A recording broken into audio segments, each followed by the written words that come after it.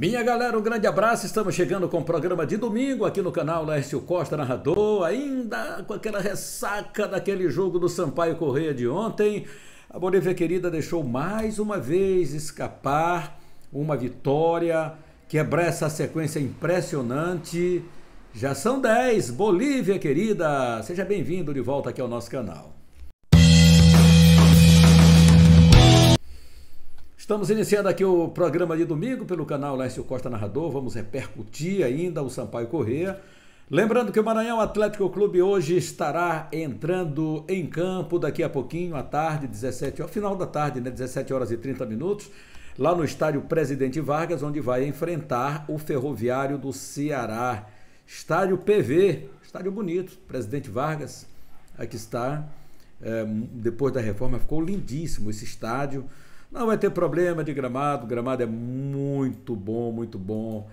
Creio que o Fabrício vai fazer um grande jogo, mas eu conto já já essa história aqui. A gente já já vai falar do Maranhão Atlético Clube, vamos repercutir um pouquinho também o Sampaio Correia Futebol Clube jogando ontem. Mas antes eu quero te pedir para inscrever-se no nosso canal se ainda não fez.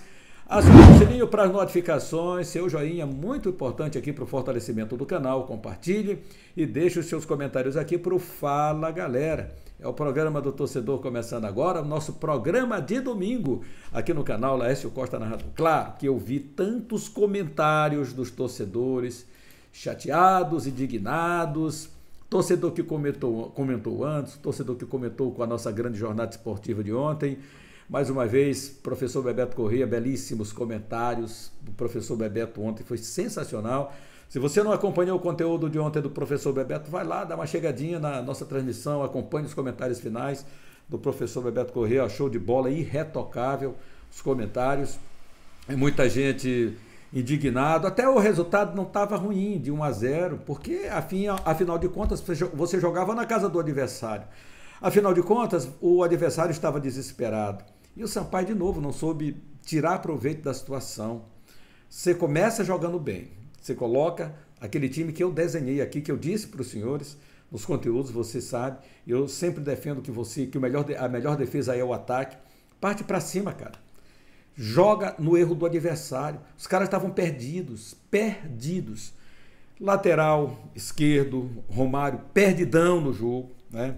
Não sabia o que fazer. Talvez a mentalidade, você pensa uma coisa, faz outra completamente. O Matheus muito bem na marcação, ali do lado direito, neutralizando o sistema esquerdo. O Evandro não viu a cor da bola, não sabia o que fazer. Então estava desesperado o time do ABC, em todos os sentidos. O time muito desesperado, é, com o, o, Fabrício tocando bola de um lado para outro, com o, o, o Giovanni Henrique trocando figurinhas, tocava bola, vinha aqui, é, o, o Wellington Reis vinha pegar enquanto não se machucou para depois ser substituído pelo Wallace, que continuou fazendo é, essa mesma função, fazendo a movimentação ao lado do Natan pelo time do ABC e sempre deixando lá o Tony mais liberado para tentar armar as jogadas, criar, mas Sampaio estava neutralizando bem até então as jogadas, com o Neto Paraíba, mesmo não aparecendo tanto para o jogo, mas muito eficiente naquilo que estava fazendo dentro de campo.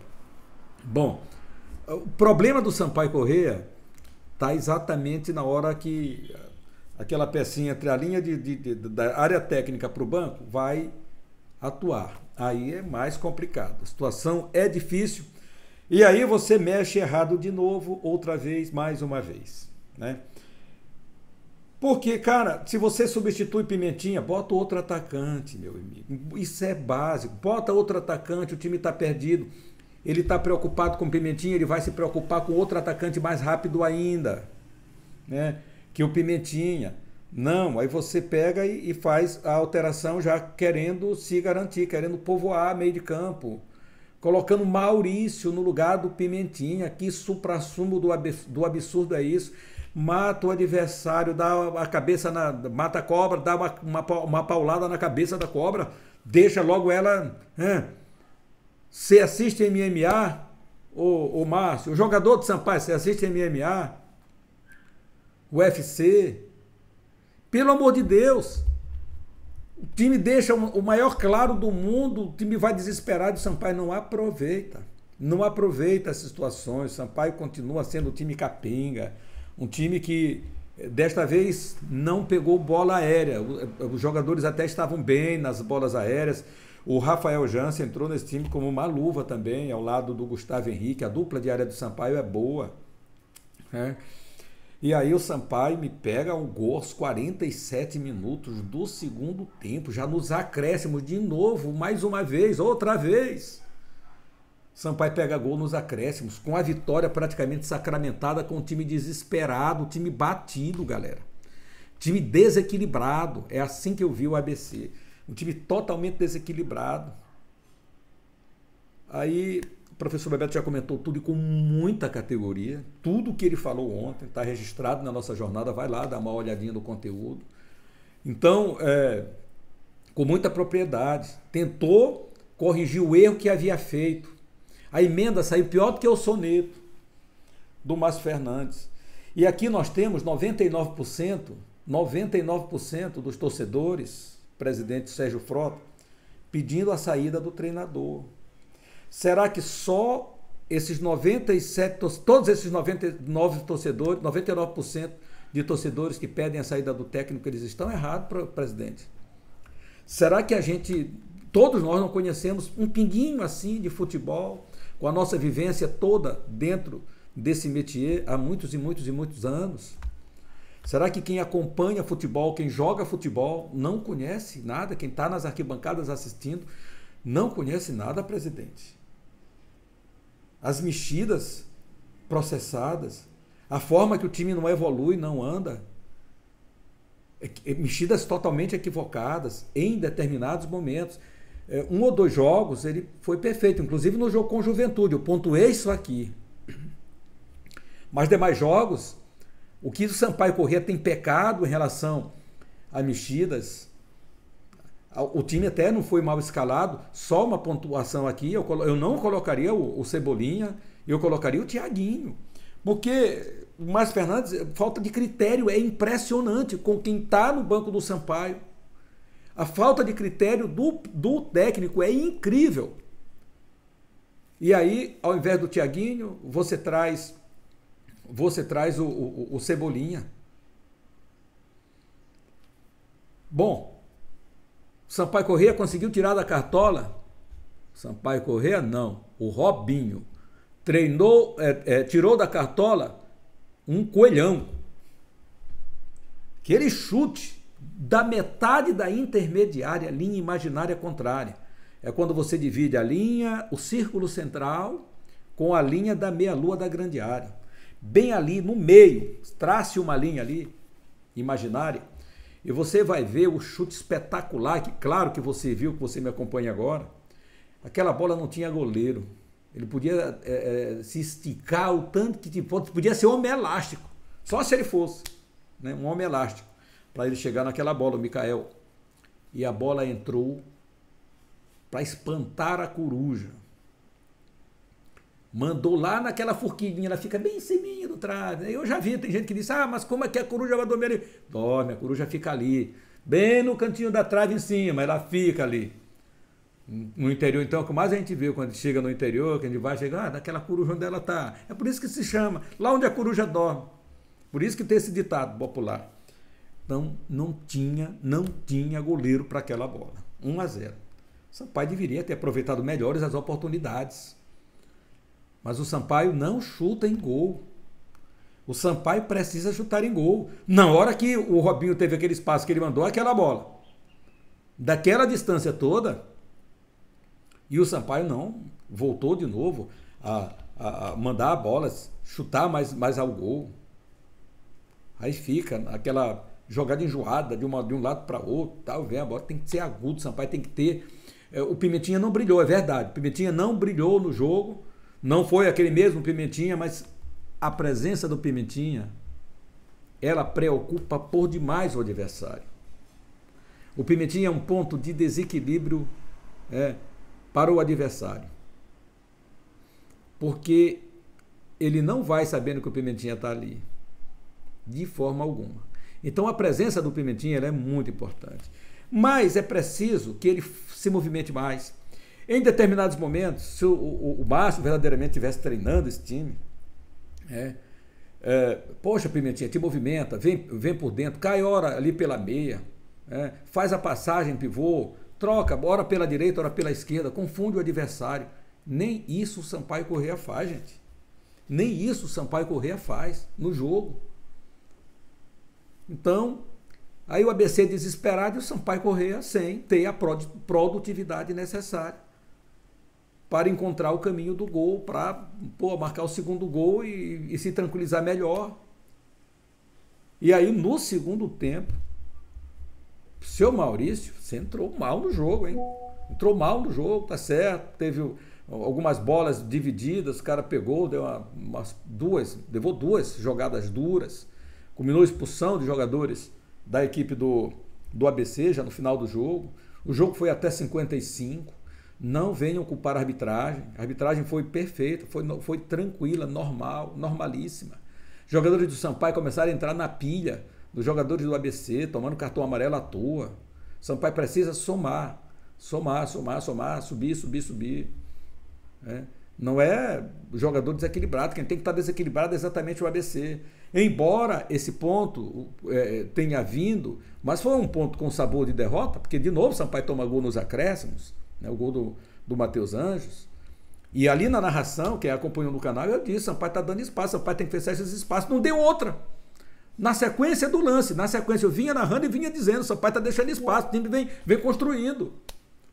E o Maurício chega atrasado na cobertura. O Matheus Anjos, como muito bem disse o professor Bebeto, com a maior propriedade, espetacular comentário. Chegou atrasado, um jogador que entrou é, fresquinho no jogo para chegar atrasado numa dividida de bola com o Matheus Anjos, que se esticou e pegou a bola primeiro do que Maurício, pelo amor de Deus, gente. Vamos ser mais ter, ter mais visão de jogo, ter mais determinação, mais garra, mais disposição. E ali o miolo, os caras vêm tocando ali pelo miolo, o cara vem se des, desmarcado, ninguém dá combate. Eu estou cansado de dizer, quem bota a bola para dentro do gol é o atleta. A bola não vai entrar sozinha mas é preciso e carece de marcação, atenção redobrada, principalmente quando o atacante se aproxima da área. E esse Matheus Anjos foi o melhor jogador do time do ABC em campo ontem. Jogou muito, muito, muito, muito, muito. Se tinha um jogador lúcido no jogo, era exatamente ele, Matheus Anjos, pelo time do ABC. E acabou que cons conseguiu esse gol né, é, lindo né, pela trama, pela jogada, se esticou, e acabou tocando a bola para o fundo do gol, empatando o confronto. Então, um a um, o Sampaio deixa escapar mais uma vitória certa nesse campeonato brasileiro da Série B. Muita gente pessimista. Cada resultado que não, que não vem positivamente, ainda mais quando você está com ela praticamente assegurada, é motivo de tristeza para o torcedor do Sampaio Corrêa. Então, mais um empate, já é o décimo. Décimo empate do Sampaio Correia no Campeonato Brasileiro. Quantos pontos o Sampaio perdeu? 20 pontos em 10 jogos. 20 pontos em 10 jogos, porque foram quantos pontos disputados? 30 pontos disputados. E o Sampaio conseguiu apenas 10 pontos de 30. É pouco demais é pouco demais para quem quer sair dessa zona de rebaixamento. Sampaio Corrêa, infelizmente, nesse ano não ganhou nada, não vai ganhar nada, mas é, o troféu seria hoje a permanência na Série B do Campeonato Brasileiro para 2024. Se não tomar uma providência agora, se houver essa insistência, estamos perdidos. Estamos perdidos. Porque jogos praticamente fáceis ou possíveis de serem vencidos, nós, Sampaio está desperdiçando. Sampaio vai ter uma sequência nesse Campeonato Brasileiro implacável, impressionante, torcida. Impressionante. Sampaio vai ter agora a Ponte Preta jogando lá no Moisés do Carelli. Ponte Preta perdeu para o Guarani ontem. Né? Então vem aí com tudo para cima do Sampaio, vem com tudo para buscar o resultado. Então imagine só o que o Sampaio Corrêa vai encontrar lá é, no Moisés do Carelli. Então vai ter que jogar muita bola o time do Sampaio, para superar a Ponte Preta, ou um equilíbrio total no sistema de defesa para trazer um, um, empate de lá, que eu, aí sim eu diria um empate gordo, um pontão, se o Sampaio conseguir é, pelo menos um pontinho diante da macaca lá em São Paulo. Não é fácil, não é fácil. A arbitragem de Sergipe foi bem, não, não foi ruim não. A arbitragem lá do senhor, do seu Fábio Augusto Santos. E os árbitros assistentes, o Daniel Vidal Pimentel e o Rodrigo Guimarães, foram bem. A arbitragem não teve nenhuma influência no resultado. Né? Tudo normal, nem o VAR apareceu.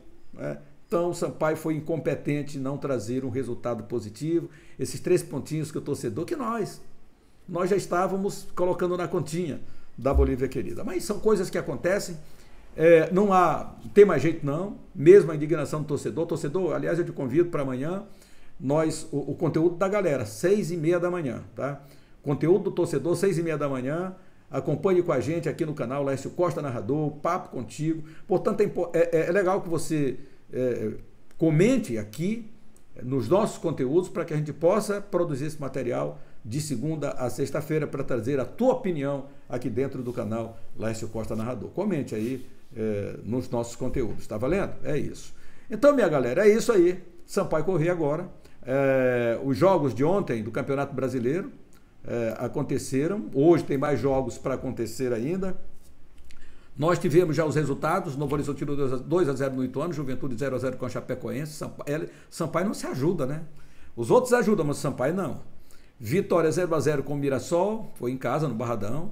Londrina 1 a 1 com Tombense, Havaí 0, Atlético Goianiense 2. Olha aí que resultadaço para o Sampaio, né? Que o Sampaio não conseguiu, é, poxa, não conseguiu chegar a esse triunfo que estava praticamente assegurado. Ceará 1 a 0 do Criciúma, ABC 1 a 1 com o Sampaio e Guarani 1 a 0 em cima da Ponte Preta Macaca. Para hoje teremos dois jogos fechando essa rodada. Vila Nova e CRB às 15h45, Botafogo e Esporte Clube do Recife esses são jogos aqui da Série B do Campeonato Brasileiro. Está aqui a classificação também atualizada. Primeiro Vitória com 49, segundo Novo Horizontino 45, terceiro Esporte 45, quarto Criciúma 44. Da quinta colocação vem o Juventude 44, depois Guarani 44, da quinta Vila Nova é o sétimo aniversário do Sampaio depois da Ponte, 42. Aí vem oitavo colocado Atlético Goianiense 41, nono Ceará 38 e décimo Mirassol com 37. Na segunda página tem, página do ladinho aqui, 11 CRB abrindo essa segunda com 36 pontos. Aí vem Botafogo 34, Ituano 13 32, Ponte Preta 14 31, Chapecoense 15 27. Sampaio chegou aqui com a vitória. Empurrou os, os, os catarinenses aqui para trás do Sampaio e depois no final aprontou aquela. Havaí 27, 16, Sampaio na zona, 27 pontos. Então Chapecoense 27, Havaí 27, Sampaio 27. Esses aqui estão brigando diretamente a Ponte Preta, um pouquinho mais acima aqui com 31 pontos. É, é, quão bom seria uma vitória ontem diante do ABC. O Sampaio encostava de vez aqui na macaca. Ficaria dois pontos da Ponte Preta, mas enfim, o Sampaio Correia acabou, é, foi amargando é, um empate com sabor de derrota. Então, na zona Sampaio, Tombense 22, Londrina 20 e ABC 16 pontos. Lembrando que Sampaio Correia 27 pontos. Então, os próximos jogos, quais são do Sampaio Corrêa? Está aqui a sequência. É, o jogo foi com o ABC, agora vai ter a Ponte Preta. Depois tem a Chapecoense em casa, com portões fechados para o torcedor. E na sequência, no dia 19, tem o Vila Nova, aí sim com a presença de público no Estádio Castelão. Infelizmente, né? Sampaio está nessa sequência aqui, já são 10. Olha os 10 jogos do Sampaio Corrêa. Né? Sampaio não vence. Aqui, ó é, é, em casa, empate com o Ituano, derrota para o Havaí, derrota para o esporte, é, é, empate com o Atlético Goianiense, empate com o Botafogo de São Paulo, empate com o Mirassol, empate com o CRB, empate com o Juventude, empate com o Guarani, empate com o ABC. Já são 10, 10 jogos. E a sequência do Sampaio, do, ah, do ABC. Ah, essa sequência aqui do ABC é uma sequência que eu vou te contar uma coisa. Não vai estar tá fácil não, hein? Teve o Sampaio Correia ontem, nada. Aí depois vai pegar a Tombense, aí pode, briga lá embaixo, né? De penúltimo e último colocado, não é isso? Me parece que é, né? Eu ver aqui se é mesmo, vamos lá. Tombense, Tombense, Tombense, não, Tombense é 18 Penúltimo é o, é o, o time do Londrina, né?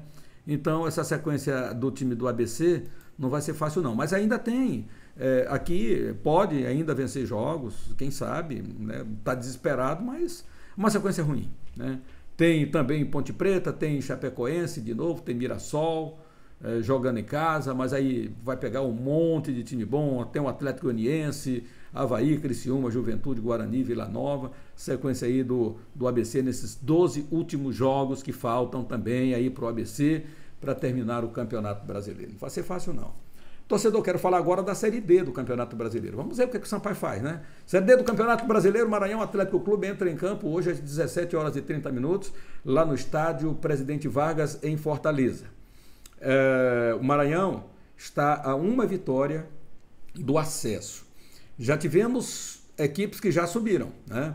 Temos dois, os jogos que foram realizados antes, equipes que já subiram da Série D do Campeonato Brasileiro, aqui está. Maranhão, primeiro jogo foi 1x1 com o Ferroviário, esse jogo vai acontecer hoje. Caxias, 1x1 com a Portuguesa no primeiro jogo, no segundo o Caxias ganhou lá no Rio de Janeiro, está na Série C do ano que vem o Caxias, coloca aí. Aí tivemos Bahia de Feira perdendo o primeiro jogo em casa para o Atlético de 2 a 0 ganhou na casa do adversário de 1 a 0 mais, na soma dos resultados deu o Atlético, e hoje estarão então decidindo essa parada o Maranhão Atlético e o Ferroviário, 17h30. Antes, porém, às 15 horas estarão entrando em campo Souza e Ferroviário, decidindo aqui também uma vaga aqui para a Série C no ano que vem. Primeiro jogo, a Ferroviária ganhou de 1 a 0, né, o Souza. E agora o jogo é lá na Paraíba. Vamos ver o que, é que vai acontecer. Maranhão Atlético Clube Ferroviário. Vamos ver qual o provável time do. Ah, o jogo é aqui, ó. Esse estádio é lindo, eu gosto desse estádio aqui, ó. Presidente Vargas em Fortaleza. Maranhão Atlético Clube, provável time do Macão, galera. Maranhão, técnico Zé Augusto está aí, focado, concentrado. Moisés Fernando na lateral direita, Leone, Maicon e Gabriel Fontes. Retornando o Maicon, Fernando deslocado, né, lá para o lado direito, eu acho que está correto Zé Augusto com essa formação. É, aí vai ter Cavi retornando ao time, Vander e Jorge, Ronald, Fabrício e Parceiro. Então, Maranhão, Moisés, Fernando, Leone, Maicon, Gabriel Fontes, Cavi, Vander e Jorge, Ronald, Fabrício e Passira. 4-3-3. Não tem moleza para o Ferroviário, não. Quer ganhar, joga a bola, né? Quer ir para a Série C, joga a bola. Maranhão é o famoso demolidor de cartazes. Muita sorte aí para a meninada do Maranhão Atlético Clube, para o nosso amigo, o técnico José Augusto, que faça um grande trabalho. Aí o Paulinho Kobayashi, orientando a moçada. Provável escalação. Douglas Dias, Wesley, Alisson, Éder Lima e Matheus Lima, Lincoln, Maicon, Lucas e Felipe Guedes, Deizinho, Cadu e Ciel. Cruel, Ciel. Arbitragem para o confronto. Traz aqui Luiz Flávio de Oliveira. Olha, o Luiz Flávio de Oliveira é árbitro de primeira linha do futebol brasileiro. Assistente 1, Anderson José de Moraes Coelho. Assistente 2, Daniel Luiz Marques, trio de São Paulo. O quarto árbitro é Raimundo Rodrigues de Oliveira Júnior, do Ceará. Analista de campo é Armando Lopes de Souza, também do Ceará. O árbitro de vídeo é Caio Max Augusto Vieira, do Rio Grande do Norte. No AVAR, Flávio Gomes Barroca, do Rio Grande do Norte. E o observador de VAR é George Alves Feitosa, essa moçada aqui vai acompanhar o Maranhão Atlético Clube e o Ferroviário lá no estádio Presidente Vargas em Fortaleza. Sorte ao Maranhão, te convido aqui para acompanhar no canal Lécio Costa, narrador no oferecimento da Mebal Alumínio, de Refri Center Refrigeração, quem conhece recomenda, e também do projeto Educando com Esporte. Muito obrigado pela tua companhia. Não esqueça, inscreva-se no nosso canal, acione o sininho para as notificações. Um joinha muito importante aqui para nos fortalecer. Compartilhe e deixe o seu recadinho aqui. Grande abraço, fique com Deus e um excelente domingo. Sorte Maranhão Atlético. Vamos buscar essa vaga. Na torcida, hein? Abraço.